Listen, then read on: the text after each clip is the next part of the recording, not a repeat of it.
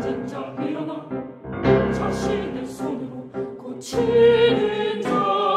성전에 들어가 소동을 일으켜 상인들 내쫓아 망치는 자. 사람들을 모아서 말씀을 가르쳐 우리들의 자리를